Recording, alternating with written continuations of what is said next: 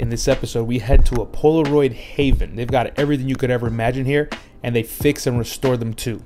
We get to look at a whole bunch of different Polaroid cameras and kind of learn a little bit about the history of Polaroid throughout the years. And of course, we get to play with some pretty cool cameras. Let's jump in. This video is brought to you by Squarespace. YouTube, what is good? Welcome back to the channel. Today we got a really cool video. We actually went to Brooklyn Film Camera to go visit and get a tour of their facility. Uh, they're a store, they're a repair shop, they're a community hub. There's a lot of stuff going on in there, so I'm very excited to go check it out. And I didn't realize it, but we've got a very special guest in this video. Let's go ahead and jump in.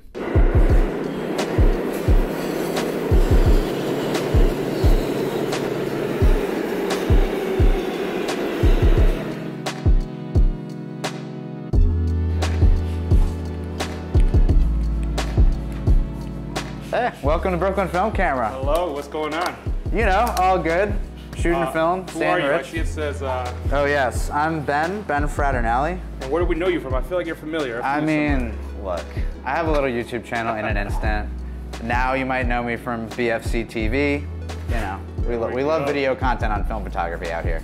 So this is this is a bit of a surprise. What are you doing here? Are you involved with this place somewhere? Yes, I am. As of this year, uh, Kyle Depew, our founder, who is currently gazing at our uh, gallery wall, um, he he uh, he reached out earlier this year and said, uh, Ben, like you know, we've connected through this film photography community, and you know, I see what you're doing, and you see what we're doing, and we kind of want to expand what we're doing, and Yeah. why don't we do that together? And I thought, okay, well, I'm a photographer, I'm a director, I have a lot of video work that I'm currently doing, but I'll do it. and so I basically, I basically was like, I cannot possibly pass up this opportunity to be involved in something that I care about so much professionally. And it's like an unbelievable chance. And we've moved into this big new space together, and it's crazy. This place is fresh. It smells new in here. The smell was really a priority for me. Um, I, I thought if the smell's gonna be off at all, we shouldn't even do it. Yeah. I knew I was gonna have fun recording this today, but I forgot, forgot how many lines you got in your backpack. Oh yeah, I have a lot of lines about smells in, in particular. All right, so this place, well, we'll talk about all kinds of stuff that goes on here, but obviously first and foremost, you guys sell stuff here. Yes. What do we got? All right, so here at Brooklyn Film Camera, we have film and we have camera. Uh, and we have accessories. We have uh, our Polaroid wall over there that has all of our premier SX70s and SLR 680s. Uh, because not only do we sell film and cameras here, we also have a repair technician who's a specialist, specially trained over in the Netherlands to be able to repair these cameras right here, the Polaroid SX70. Um, and so we repair, we sell, we buy cameras too, Yeah. and uh, yeah, we're heavily involved in all phases of what we're doing here. That's dope, that's dope. All right, before we get into all that camera stuff, Yeah. behind me, Yep. I see a pretty cool wall. Yes. Can you kind of come Of over here and course. show this off? So I think this is my favorite part of this store. Yeah, yeah, lot yeah. more going on here that's not just For sure. I- one of our primary missions going into this whole space was we don't want people to just walk in and okay, it's a store. Okay, take out your wallet. Yeah. I mean, if they take out their wallet, it's cool, but Yeah. we wanted the community and the art to be the forward-facing aspect of what we're doing here. Yeah. So the gallery wall has a monthly rotating show. It's a great opportunity to get artists in here who we really love. Erin, uh, her Polaroid collage work is absolutely stunning. I've always been a great admirer of it. I haven't even looked at it. but Yeah, it's co- it's at it- completely insane, and the fact that this amazing, talented artist traveled to from LA to install this work, someone that I've admired, and it's like now a part of our space for the next month. This kind of opportunity is just unbeatable, and Yeah, yeah. when we have like the opening party and the community's in here and they're Yeah. admiring the work, and it all just really ties into like what we want to do here. No, this is great. I'm excited. I, I'm close now. I, like I told you, I moved nearby. All right, so Polaroid and Yep. instant photography is Yeah. obviously big heavy for your brand. Sure. Big heavy, I guess, for this store's brand as Yeah. well. What do we got here that's specific to that kind of neck of the analog world? Absolutely. So Polaroid, the brand, has this little space within our store, which we think is kind of amazing. Um, Polaroid has been a very critical part of the business from the beginning because multiple uh, founders of the business, essentially our first employees, worked at the Impossible Project, Gotcha. which is the company that saved Polaroid film from extinction. And so those employees who were leaving their New York offices poured it over into this space. And so we became Polaroid specialists. Just it was natural. It was a natural fit. And as we've continued expanding, and as Impossible Project became Polaroid, everyone has sort of grown together. I think. Yeah. And this, I think, is a culmination of that. It's like these people used to work basically at Polaroid, Yeah. and now Polaroid's working with us, and it just feels like a perfect matchup. That's it's, awesome. It's beautiful. Before we continue, let's talk about our sponsor for this video, Squarespace. So I actually just got up and running with my Squarespace site, and it was quite painless. There's a couple of things I really like. First off are the blogging features. I really love how quick and easy it is to set up a blog and include photos, videos, links, all of the above. And I think every photographer should set up a blog so they can discuss their images, post them in high res, and just have a way to connect with their potential audience. I also really love the galleries on posts. You can basically upload a bunch of photos in sequence and have them pop up next to each other in a specific way. And you can click through and look at them. It's a really good technique for storytelling, especially with your images. Instead of just posting them one by one, you can put them together in a gallery so that they all have a common theme and interest. Lastly, I'm quite excited about the online stores. I haven't set this up yet, but I'm going to, and my hope here is to sell my prints. All photographers love selling prints, and this is a really cool way to do so in a very personalized, direct way. So make sure to head to Squarespace for a free trial. And if you use my link, squarespace.com slash ribsy, you get 10% off your first purchase of a website or domain.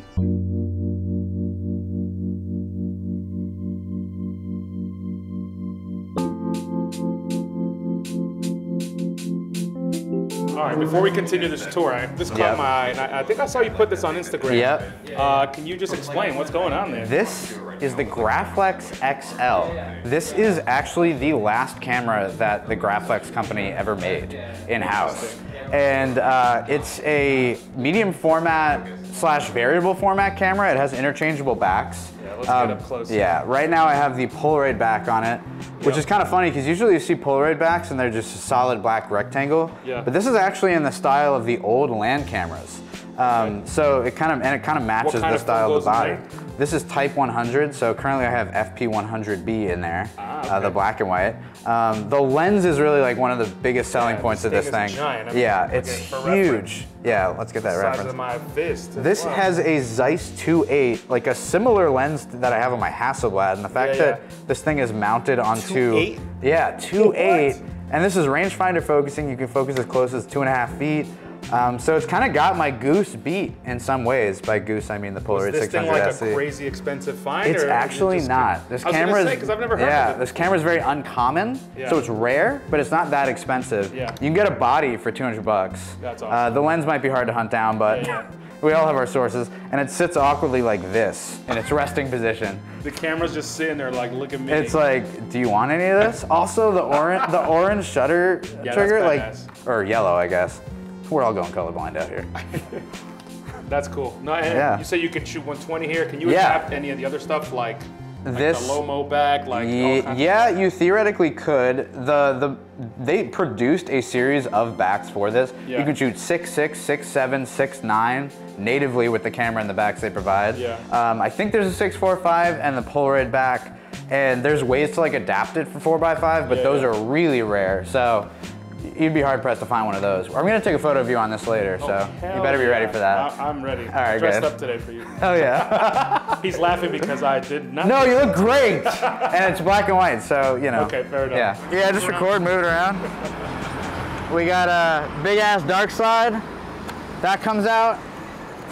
And we're ready to rock. Let's see. Yeah. Yes, yes. Three, two, one. Yeah. Incredible. Absolutely serving me looks. How was your dismount? It was good. I, I not Olympic level, but No. I, I my knee hurts a little bit. Oh, for sure. Yeah, you were severely injured now. Ooh, Yep. ooh, Let's hope is for the best, yeah. satisfying part right here. There we go. And boom. And now we let this cook. Why don't we peel it inside? okay.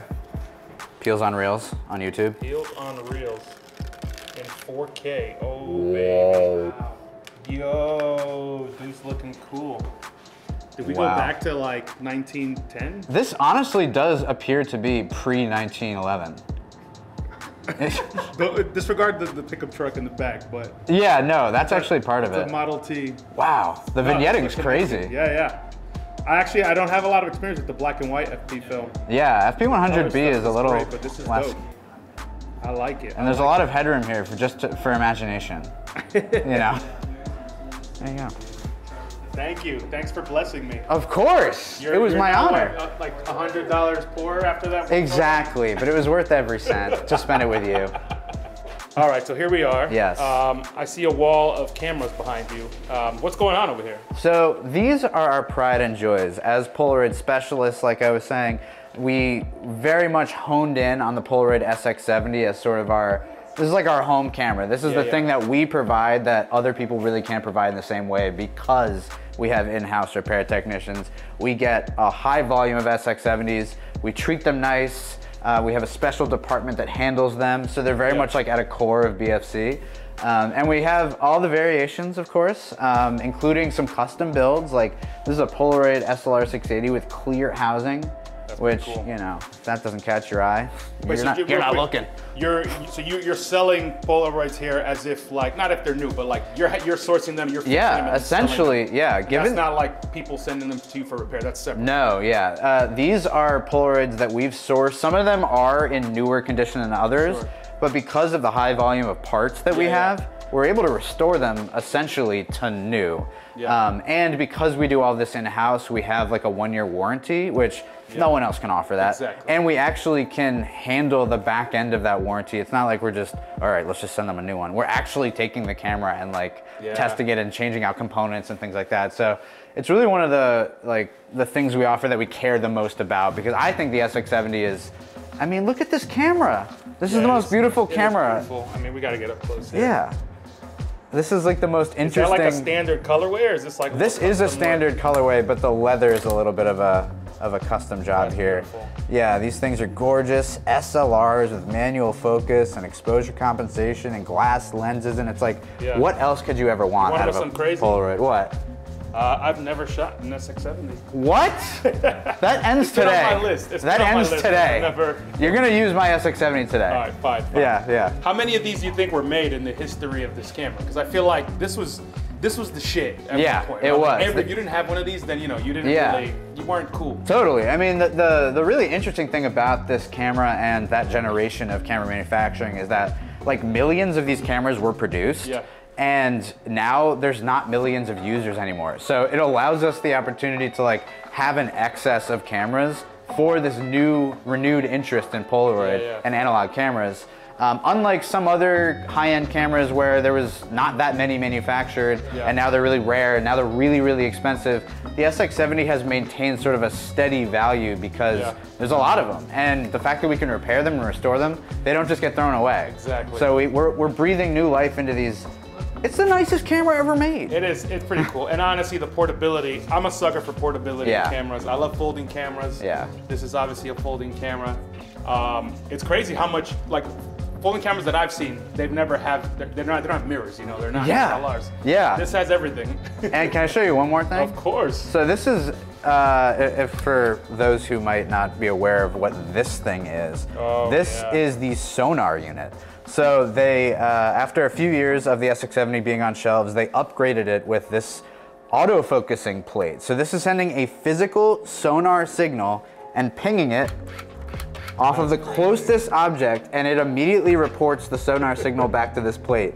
It was the first autofocusing system ever introduced for an SLR, uh, which is like unbelievable that this is what they came up with for Yeah. it.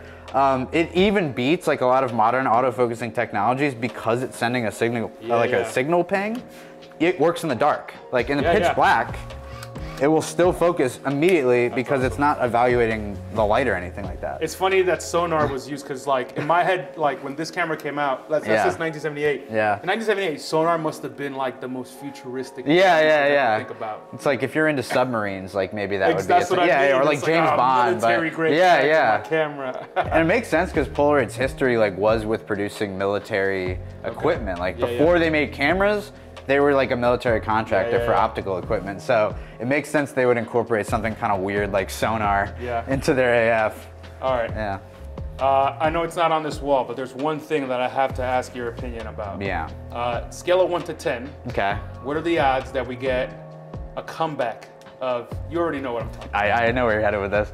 Pack film? Yeah. Yeah, unfortunately, I would say zero out of 10. Oh, I, I would say approximately zero. I, I would say there's, there, you know, there is SuperSense, which is the company that is currently Yeah, yeah. Um, recycling chemistry from Polaroid 20 by 24 pods.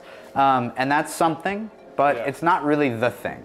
Um, and I don't think we've seen the thing yet. Sure. Uh, New 55, which produced 4x5 instant film, they actually were producing something new. Yeah, yeah. But demand, they fell behind. I'm not sure, any Sure, of that knowledge is going to get passed on to someone who can really scale that operation. So I'd say about one, zero, yeah. Oh.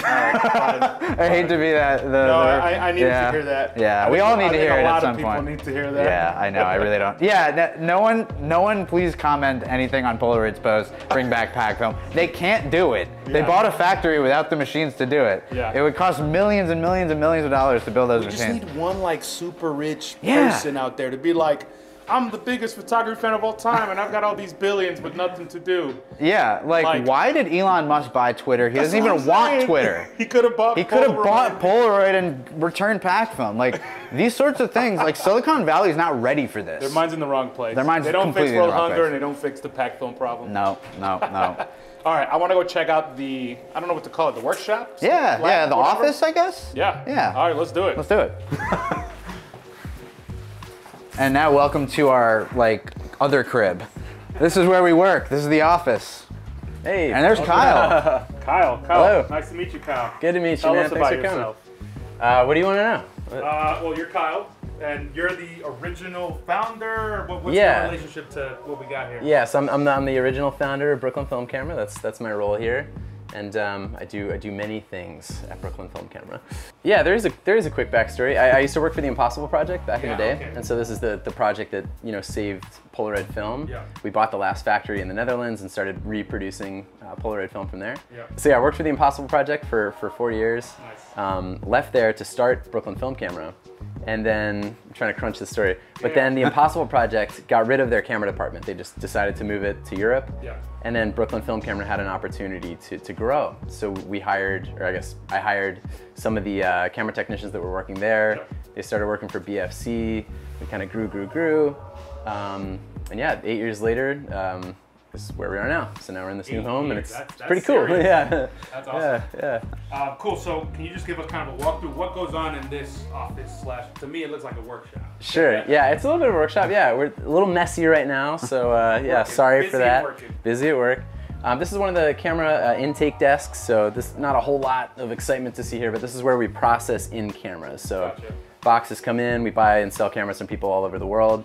Boxes come in, we open them here, we test them here. This is where it sort of starts. Um, these are sort of managerial desks. This is where I sit. This is where Ben sits. This is yeah. my throne. Yes. And yeah. I'm gonna put a picture of ribs up here. You're gonna be on this wall. Is this a so wall of fame? yeah, this is a wall of fame of wow. new visitors. Of course, it's not fully built out yet, but you No, know, no, but you clearly started something good here. we're starting Oh, yeah. something. Oh, yeah. signatures and faces, and we'll have a full collection of legends like soon it. enough. Yep. It's my honor. And yeah, so this is uh, this is my very messy desk right now. Uh, look away. I'm just kidding. You can, you can you can look at it if you want. Um, and then over here, if you want. Um, over here, this is Tyler. He's uh, one of our Tyler, how you SX70 uh, technicians. And um, so this is where all the SX70 magic happens. And also, this is this is Penny. You gotta say hi to Penny. Oh, the office pup. Your baby? You wanna say hi? You wanna say hello? Everybody. You wanna say hello? Penny only You repairs sleepy? Nikon FM3As. She's sleeping. Penny's Penny's sleeping. Benny's got too much swag. for- Yeah, for yeah, us. yeah. I respect that. Um, and yeah, Shanna's back in the corner back here. If you want to say a quick, quick hello, Shanna. Hello. there she is. Um, yeah, so so we're standing in like SX70 zone. So this is where we restore uh, SX70 cameras and SLR680 cameras. yeah. Um, I'll give you a little bit of peek under the hood if you want to Yeah, come in. yeah. So this is this is all customer cameras right here. These are um, this is probably about a week to two weeks worth of customer cameras that we're currently working on. We have this crazy sticker system, so we know exactly what's going on with the cameras and how to move them through. Um, these are bins full of SX70 cameras that are that are coming in. So these have been serviced. These are waiting to be uh, detail cleaned and skinned. Uh, by skin, I mean re- re-leathered. Yeah. So there's Racks and racks of cameras. racks and racks of SX70s. And then it kind of works bottom up, like on the bottom are cameras that we've not touched yet, so they Ah, need I to be see. serviced Okay. and re-leathered and detail cleaned.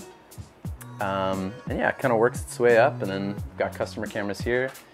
These bins to my right are just full of parts. This entire rack is full of Polaroid This is kinda- SX70 camera parts. I was talking Um, to a repair. You can see on the desk there, there's just, you know, we're, we're loaded with what we need to repair them. I was talking to a repair in the UK, PPP. Yeah, yeah. He basically made it clear that like parts are the, the biggest challenge. Like Yes. if you have if you have parts, then you can do something. If you don't have parts, I guess you got to make parts. Yes. Or you know you're out of luck. That's exactly right, yeah.